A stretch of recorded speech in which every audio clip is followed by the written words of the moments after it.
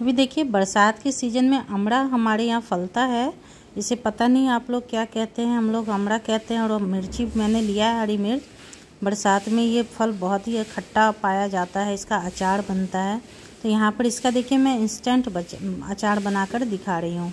इसे हम डिवाइड कर लेंगे टू पार्ट्स में और मिर्ची बड़ी बड़ी है तो उसे भी दो टुकड़े में कट कर लेंगे। छोटी है तो बीस से आप सिर्फ़ कट लगा दें, हो जाएगा। और इस तरह से हम दोनों ही चीज़ को कट करके रख लेंगे और उसके बाद कढ़ाई में तेल गर्म करेंगे। कढ़ाई में इसमें हमें इंस्टेंट रखना है तो ज़्यादा तेल यूज़ नहीं करेंगे। 100 ग्राम के लगभग में तेल लेंगे, उससे भी थोड़ा कम रख सकते हैं आप। आप अपने हिसाब से देख लेंगे। उसमें हमें फ़ौरन में डालना है मेथी, सौंफ और सरसों सीड्स और उसके बाद मिर्ची को डालकर हार्डली वन मिनट हम इसे फ्राई करेंगे और उसमें आंवला डाल देंगे।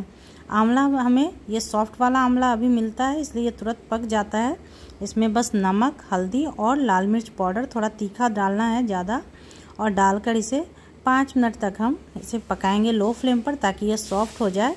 और देखिए इसका कलर ऐसा हो जाता है। तो hello friends, welcome to Daisy's cookery.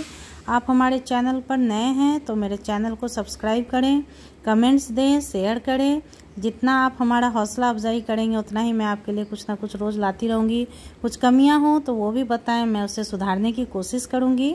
तो दोस्तों, ये रहा मेरा इंस्टेंट अचार अमरा का। तो आप भी लाइए बाज़ार से और बनाइए और कैसा लगा हमें ज़रूर बताइए।